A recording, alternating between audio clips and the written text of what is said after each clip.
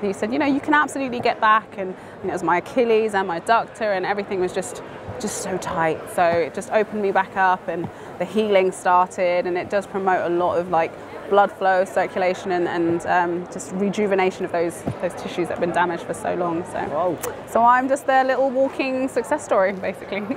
Yeah. Nice, easy rocking motion, nothing forced. Yeah, and you stretch right back exactly as you're doing there. A lot of the injuries I've had over the years have been posterior chain, musculoskeletal stuff, and you know a lot of um, restriction in my thoracic. So the main thing I really swear by with the back ball is just being able to get into those little muscles, you know, throughout your spine and, and your back, um, which has really helped me. And it's something that I get on first thing in the morning, just making sure I'm aligned and set.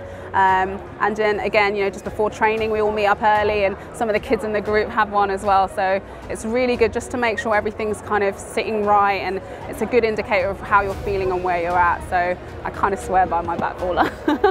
You've raved about this thing on your social media, media channels since you've got one. Tell us where you got it. You'll be very familiar with this space. the part of the backballer family already, Jenny Meadows, um, my longtime rival. She's now sort of my biggest fan and teammate, and her, alongside her husband, are coaching me and helping me. Well, we, we've called it my final sprint. One of the first things she gave me was my backballer, and she gave me a bit of a little uh, coaching session on how to use it. And she, you know, at the end of the day, for me at 34 years old, being able to compete again, the main thing I need to be mindful of is staying healthy in between sessions. So um, very thankful to Miss Meadows over here and she's a big advocate and you know now I am too because it's really been the, the binding glue between sessions for the last 12 weeks. So really excited to be on board. Wow, brilliant, Marilyn. And uh, just tell us, Marilyn, a little bit about yourself, what level you compete at, uh, what are your ambitions now?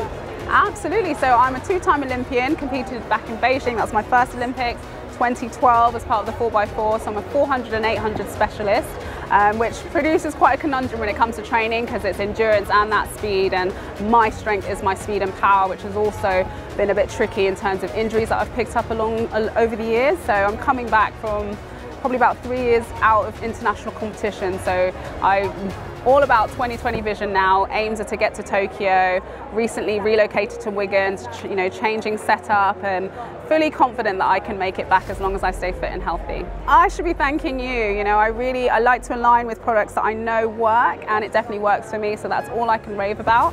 And you know, you've got to try it for yourself. And I just know that people won't be disappointed because I definitely wasn't. So thank you.